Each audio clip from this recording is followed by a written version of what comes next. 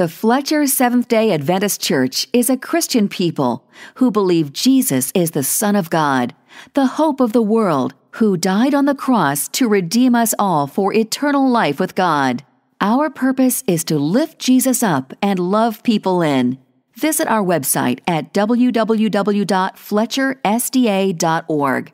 And now be blessed by the Holy Spirit as you listen to a Bible message. Today's scripture will be found in Matthew 18 10 to 14. I will be reading from the New International Version. See that you do not look down on one of these little ones, for I tell you that their angels in heaven always see the face of my Father in heaven. What do you think? If a man owns a hundred sheep and one of them wanders away, will he not leave the 99 on the hills and go to look for the one that wandered off? And if he finds it, I tell you the truth, it is happier he is happier about that one sheep than about the 99 that did not wander off. In the same way, your Father in heaven is not willing that any of these little ones should be lost.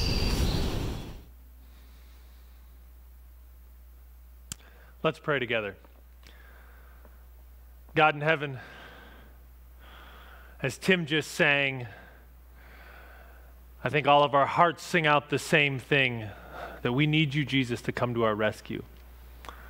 Um, we want to follow you wherever you lead, and we pray that today you would bless us as we open your word and we study. May we be followers, and may we acknowledge the fact that we need to be rescued, Father. I ask you would bless us today, whether we are here in person, wherever we are worshiping together. May we be reminded that the church is not a place, but a group of people. That you called disciples to be followers. And wherever someone is watching right now, whether it be currently or after the fact, Father, pray that you would bless them, you would guide them, that you would touch their hearts, that you would send angels to protect them and your Holy Spirit to guide them. In Jesus' name, amen. I want you to take a second and think back to when you were young. Now, this means different things to different people. Um, some of you, you may think, well, I was young and it may be six, seven, eight years ago. Some of you, you may need to factor in several tens into that equation about when you were young. But I want you to think back to your first memories as a young child, whatever that is. Even if you're very young right now, say you're three or four years old, you can think back. What was it like? And I want you to think about what has changed since that time. What's different about the world today than it was when you were young? Consider this and think. Some of you had what was called a party line when you were young. And for those of you who are a little uh, not quite as experienced in life, a party line meant that you shared your phone line with several other houses right in your neighborhood. And then when you got on the phone, you might hear your neighbor having a conversation. You'd have to wait your turn. And I don't even know exactly how it all worked because it wasn't my experience, but I guess it made eavesdropping a lot easier. Some of you might remember back to a time when uh, a household only had one car, right? It was just we had one car and we did that. I had a church member when I was in Kansas, and he told me that he remembers a time when in his house there was no electricity. They had gas lights and they had no running water. And this was in the 1950s. And he said that they didn't have a freezer. There was a co op in town where they would keep the things they needed to be frozen. He said the only time he put on shoes was when he would, when he would go to the freezer because he had to be careful or his feet would stick to the floor of the freezer. Times have changed. And I share that with you so that we can have a little association with the changes that take place. And I want you to try and go in your minds. I'm going to fast a rewind back to the first century. In the first century, times were very different particularly first century Palestine, which is the setting for our study today. In first century Palestine, it was a very much an agricultural society. The main pursuit in life was growing food. Unless you were a noble, a priest, a king, your pursuit was growing, harvesting, trading so that you could feed yourself. This was done through growing wheat, corn, barley, things like this. Some people had orchards, uh, olive groves, um, grapes. And then there were the herdsmen, the ones who had sheep and goats and cattle. And this was the pursuit of life. This was what people did, this was what they spent time doing. Also, there was poor, if any, medical care. We didn't have, they didn't have the uh, science that we have today. They didn't understand how to treat infection like we do today. And the infant mortality rate was incredibly high. Most every family would have lost a child either at infancy or very young. To survive to adulthood was not guaranteed, and maybe in some situations not even likely. If you were born into a poor situation, if you were born and your father died for some reason based on tragedy or sickness, life was a tough place for you. And because of this reality, because of that mortality rate for the young, because of the infections that went on, because of the situation of the time, there was an interesting reality in that culture that we have a hard time associating with today. And the thing, one of the things was, is that parents were slow to build connections with their children. And this was very much self seeking because if they built a connection with their young baby or their toddler, there was a decent chance that that toddler would die. And so until the child became old enough to start working, there wasn't a lot of connection. There wasn't a lot of attachment. And that was just a cultural reality because of the reality of death. More than that, children had no standing, they had no rights in society. Now we, we do a lot of things to, to hold up and care for our children. We have systems that are built around it, and it's, it's an important part of the American culture, of our culture here at this church. We, we spend time on children's programs, we spend time on teaching chil- uh, keeping children safe. That wasn't the case back then. Children had no standing, and children lacked the attachment that we think is normal today from their parents simply because the fact that the odds of them living to adulthood were greatly diminished compared to what we think of today. And it's in light of that we come to this teaching of Jesus. In the book of Matthew, you can turn there if you have your Bible, if you're watching, get on your phone, whatever. In the book of Matthew, we come in that backdrop to an important teaching of Jesus. And we're in our, uh, our Christ like living series. We are Christians, right? We've come to know Jesus. We've experienced the goodness that is Christ's death, and resurrection. We've accepted that. I hope you have. If you haven't, that's the most important thing. And then Jesus says, Come and live like me, act like me. What, is it, what does it look like in life when I am now living like my Savior in Christ like living? We've been studying that. We'll be studying that through the end of August. Actually, the first week in September, we'll continue to study it. And in Matthew here, as Matthew was writing the gospel, there's, there's, there seems to be a literary kind of transition at this point in Matthew, in the beginning of Matthew 18, where he starts to explain Jesus' teaching about what the kingdom of heaven was like. And so it's in this culture and in this time that Jesus starts to teach this. And his teaching here in Matthew 18, and we're actually going to look at kind of the first half of the chapter, and then in a few weeks, we're going to look at the end of the chapter. But in the beginning of Matthew 18, it says, At that time, the disciples came and asked Jesus, Who is the greatest in the kingdom of heaven? So Jesus' teaching comes within this discourse and within this question Who's the greatest, right? What does it mean to be great in the kingdom of heaven? And you got to see that also in this culture it was an important thing that humility in the Jewish teaching and in the Israelite community was very important, but it is thought of differently than we think of, well, maybe we think of humility now. And we see this throughout Jesus' teaching because he was, he, was, he was kind of adapting this process. A lot of times uh, there was great um, pride and humility, which I know sounds ridiculous to us, but in the culture, there were the, the, the practice was that if you could make some grand gesture, right, um, of humility, of giving, of sacrifice, you were looked on with praise. And maybe that's even um, the case today. If you're not familiar, there's a term called humble brag. It means that I'm humbly bragging about something like, oh, I'm so thankful that God has given me this, you know, whatever. It's a humble brag. And it was around at the time, and you would have this. And there are stories in the Gospels um, that, that, illustrate this. For example, when Jesus talks about the people who are coming into the temple and giving these great donations, and then the widow who gives her small mite. And he says, she gave more. There's these teachings like this that Jesus calls out this, this hypocrisy, this, this teaching um, that goes on, this, this false humility. And this is something that happened. So the disciples ask in Matthew 18, Who is the greatest in the kingdom of heaven?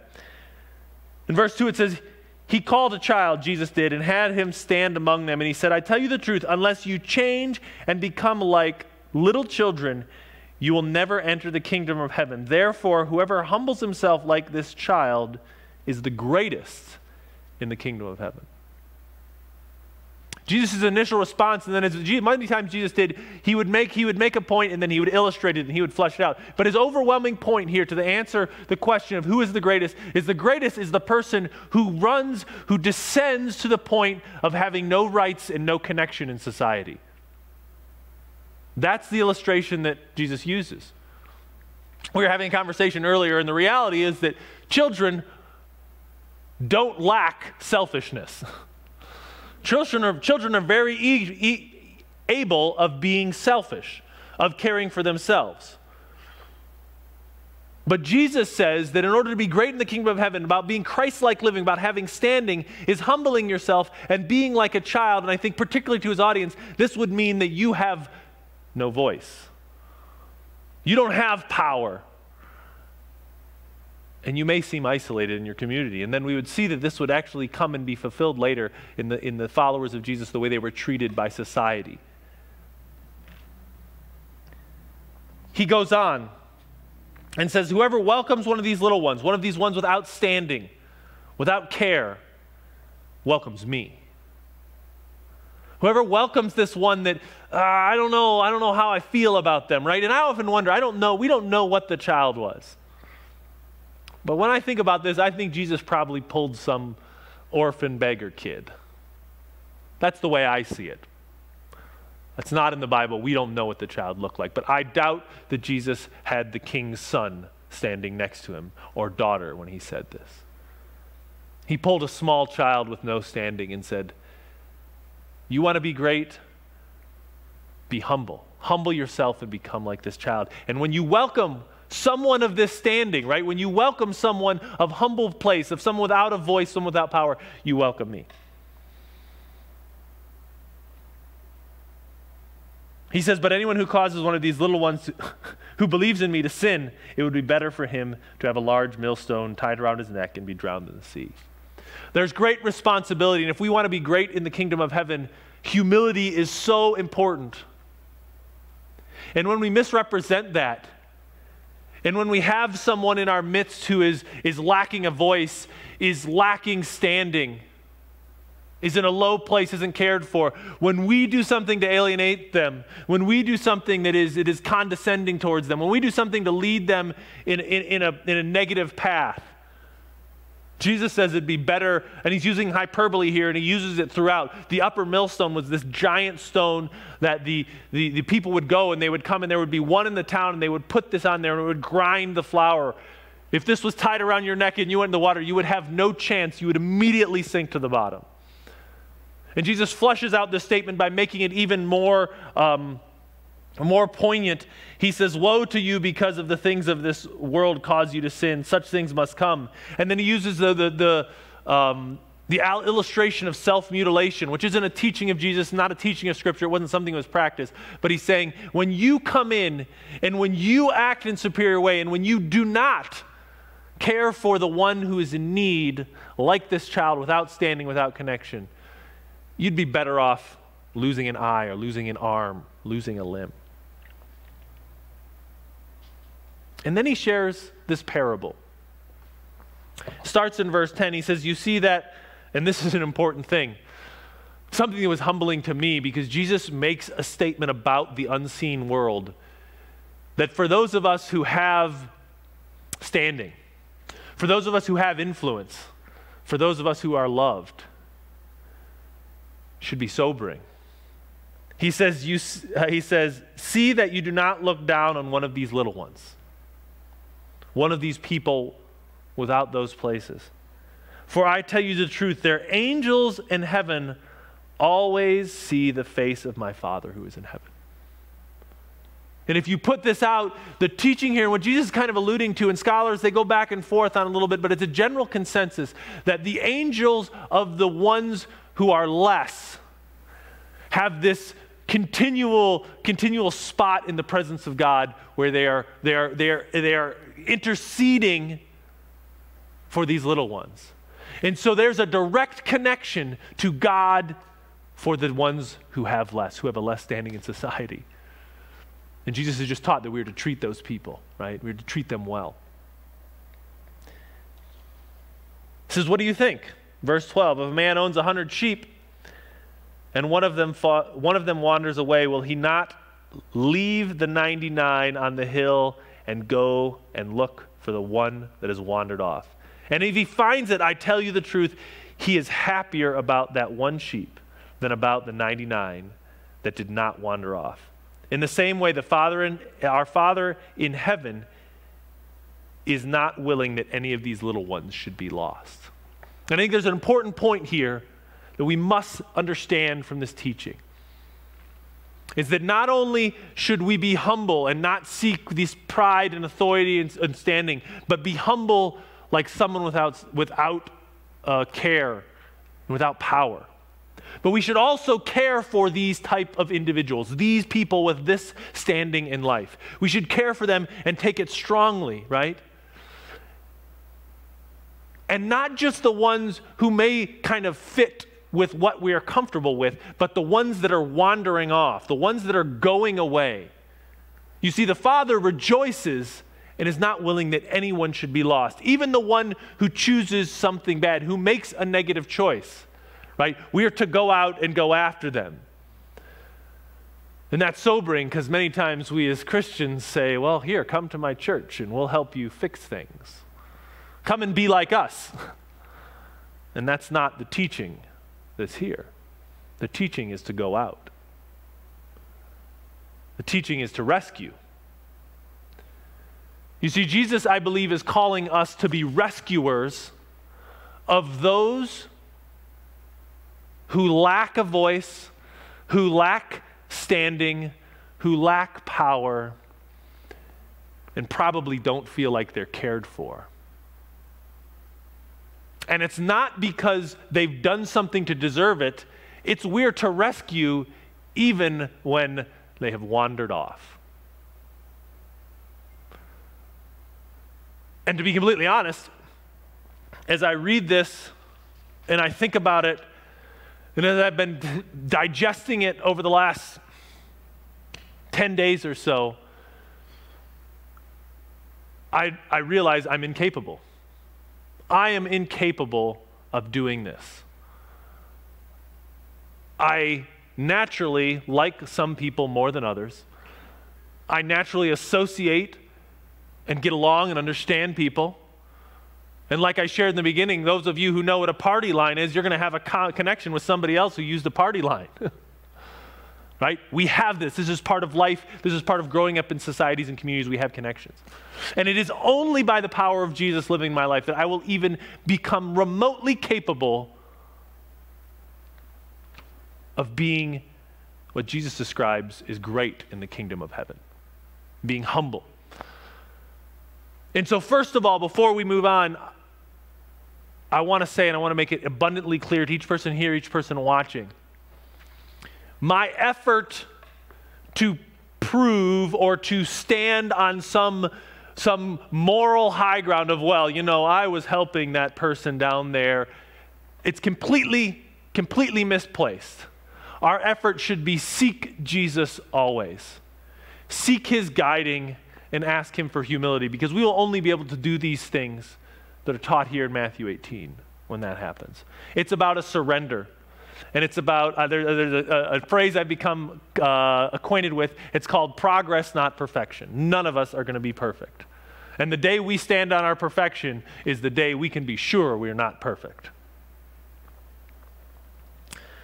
So, a rescuer of those without a voice. How does this apply to our world? We live in a world in the United States at the moment where there's a lot of turmoil. And if I'm honest with you as I speak, as I was studying this, and you know, kind of the, the, the, the common, you know, if you're going to present, if you're a preacher, if you're a pastor, if you're a teacher, you're going to go in and you're going to open the Bible and you're going to learn from a text, right? You're going to try and understand what it meant to the people who read it and the, originally, the people who were there during the teaching. You try and understand that message and then you try and apply it to your current group that you associate with. And as I'm studying, I'm going, man, God, I really don't want to apply this because it's uncomfortable for me. Because we live in a world where racism and bigotry and discrimination has been on the forefront. And I don't feel that I am an expert on any of these things to speak with clarity or to prescribe what fixes the great divide we have in society. So I will share with you kind of my, my movement in, uh, in what I have thought the last few weeks. And how I, what I, some things I've come to understand, some things I've come to accept, some things that I feel like God has convicted on my heart.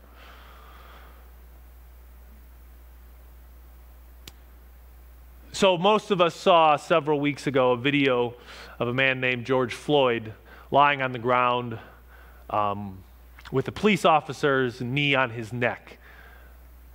We know the man died.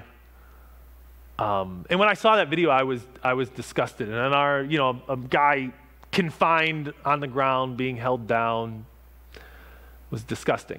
That's how I felt.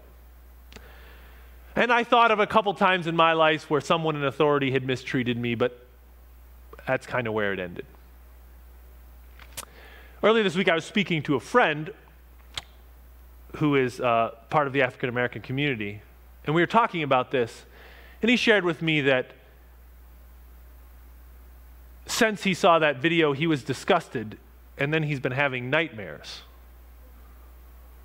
because he said, I saw myself on the ground when I saw that video. This friend actually is the one who officiated my wedding, a very close friend.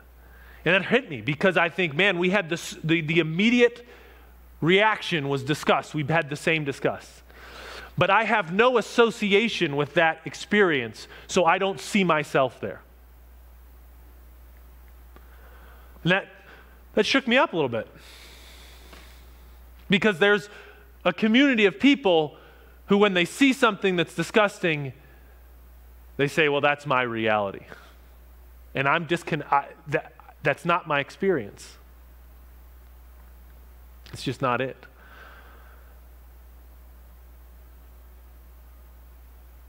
And it's, it's, it's sad. It's saddening to me. It's frightening. And that led me to think of, well, where in my life, what, what other things do I not, what else, what other things do I not associate with? And I started thinking about it. And I don't know, locally here, if you're watching abroad, it may not be the case, but locally here in some of, uh, there's a Walmart just down the road that I, I go to uh, fairly regularly. And in that Walmart in the last year and a half or so, they have, they've started, um, there'll be somebody as you're walking out and they'll check your receipt, right, as you're walking out of the Walmart. This happens in other stores. I will say that when I walk out of that Walmart, I almost never have my receipt checked.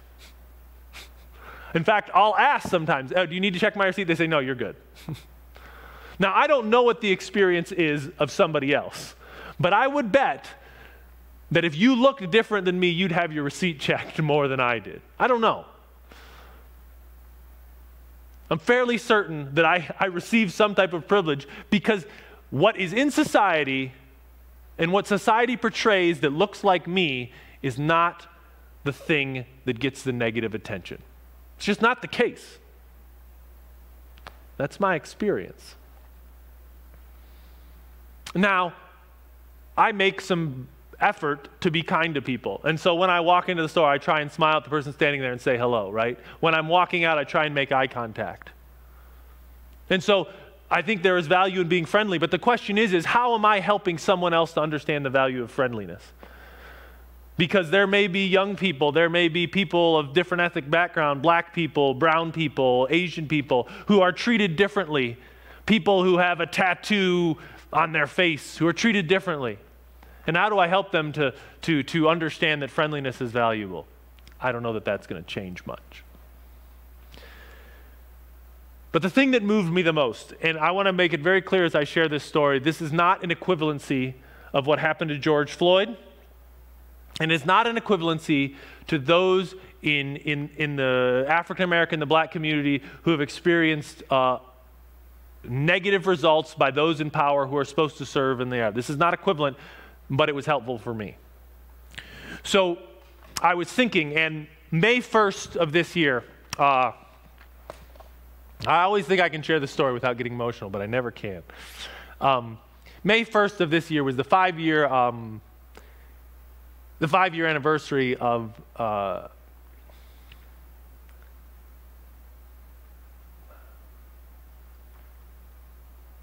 of my nephew passing away.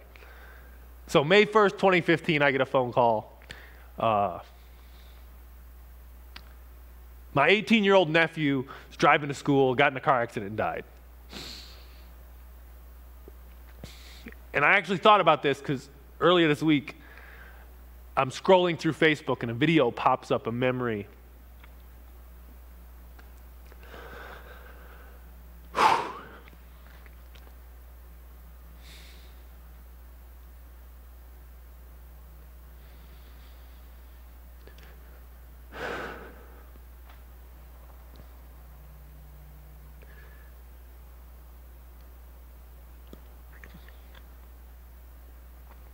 a memory of my nephew Devin.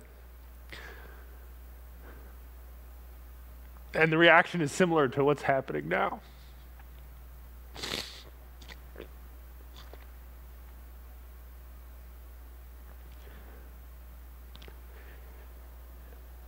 My son, who's going to be born in the next couple weeks, his, his, one of his middle names is Devin in memorial. So this happens, right?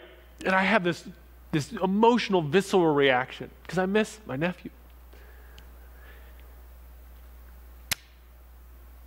And if somebody came to me right now and said, you know, well, 50,000 people a year die in car accidents,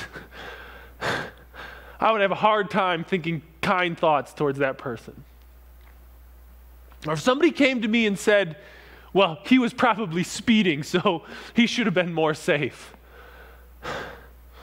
I'd probably break something.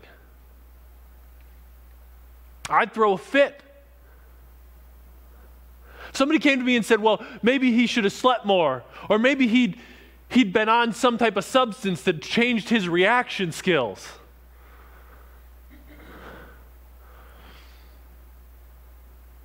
And I understand that that's how society reacts to the black community when they say black lives matter, when we say, well, all lives matter. Well, of course, all lives matter, but right now, somebody I love and somebody I associate with, I see somebody on the ground dying, and I see myself. It's like somebody coming to me, and when I say my nephew died in a car accident, they say, well, you know, he should have been driving slower. It's just the, the picture of insensitivity.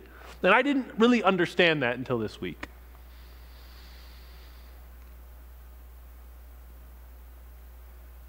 So, what do we do? We're in a pretty homogenous community.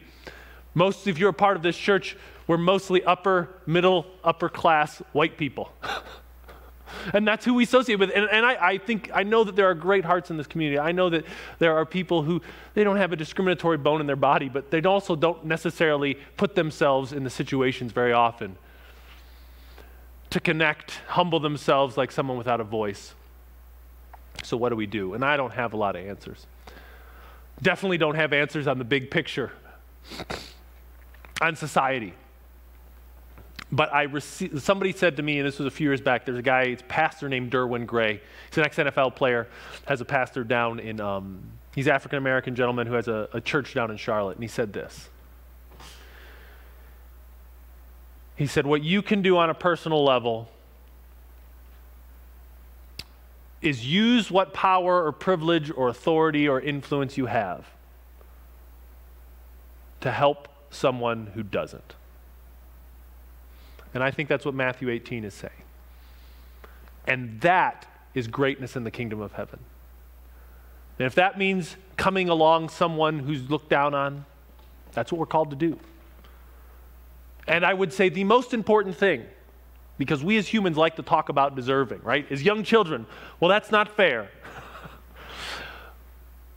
the message of Jesus and what I believe the message of Matthew 18 and what I mean what I believe being a rescuer is all about is rescuing not the ones who deserve it, not the ones who have acted correctly, not the ones who have responded in a way that you think is appropriate. But using whatever you have to help someone who has less, regardless of whether you think they deserve it or not. Because ultimately, Jesus came and he did exactly that for you and me.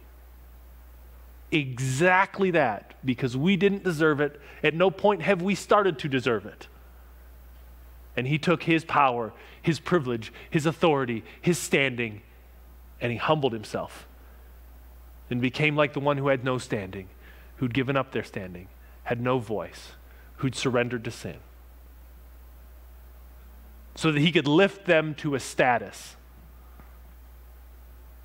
that they didn't deserve.